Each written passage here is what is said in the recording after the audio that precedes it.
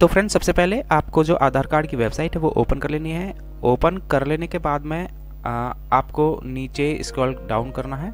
जब आप scroll down कर लेंगे तो आधार सर्विसेज़ में जो हेडिंग ये दी हुई है, यहाँ पे आपको वर्चुअल आईडी में जाना है। ठीक है? ये लिखा हुआ है वर्चुअल आईडी वीआईडी जनरेटर आपको इस लिंक पर क्लिक करता है।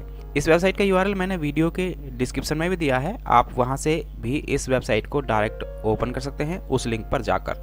तो मैं यहाँ पे क्लिक करता हूँ वर्चुअल आईडी जनरेटर पे।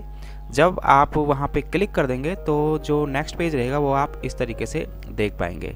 मीन्स ये नई वाली वेबसाइट है और आपको क्या करना है इसके बाद में आप नीचे जाएँगे और ये यहाँ पे जो लिखा हुआ है वी आई डी जनरेटर यहाँ पर आपको क्लिक करना है। जब आप यहाँ पे क्लिक कर देंगे तो एक नेक्स्ट पेज जो खुलेगा वो इस तरीके से रहेगा। यहाँ पे जनरेट वी आई डी तो जनरेट वी आई डी करने के लिए यहाँ पे आप देख रहे होंगे इंटर आधार नंबर तो यहाँ पे आपको अपना आधार नंबर देना है।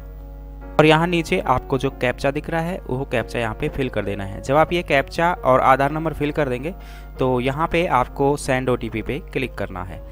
उसके बाद एक मैसेज यहाँ पे इस तरीके से आ जाएगा और एक ओटीपी जो आपके, जो आधार कार्ड में रजिस्टर्ड मोबाइल नंबर है, वहाँ पे चला जाएगा। वही ओटीपी आपको यहाँ देना है। ओटीपी देने के बाद में आपको वेरीफाई एंड प्रोसीड पे क्लिक करना है। जब आप यहाँ क्लिक कर देंगे तो जो नेक्स्ट पेज रहेगा वो इस तरीके से रहेगा और यहाँ पर जो आपकी वर्चुअल आईडी है, वो जनरेट होकर इस तरीके से आपको दिखाई दे जाएगी। तो फ्रेंड्स यहाँ पे मैंने आपको बताया कि आप किस तरीके से अगर आपके आधार कार्ड पे वीआईडी या फिर वर्चुअल आईडी जिसे बोलते हैं वो नहीं है तो आप इस तरीके से जनरेट कर सकते हैं।